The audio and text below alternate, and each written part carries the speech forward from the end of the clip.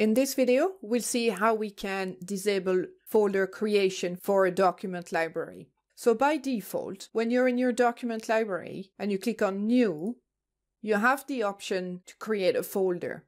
But sometimes you don't want this option to be available to users. So we are going to remove this option. From your document library, click on the gear icon and go to Library Settings. Navigate to Advanced Settings and if you scroll down a little bit, that you can decide if you want to make the new folder command available. Select no, and then click on OK. Let's go back to the Documents library. And this time, if I click on New, you can see that the folder is not available anymore. So we have removed this option on this document library, but the option is still available on other libraries. So if I go into another library and I click on New, you can see that the folder option is available.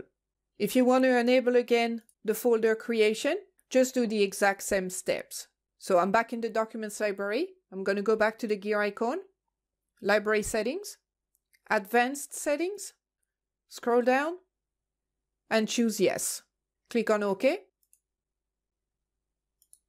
Click on New, and then the option to create a folder is available again. And that's how you enable or disable folder creation in a document library in SharePoint. Thank you for watching.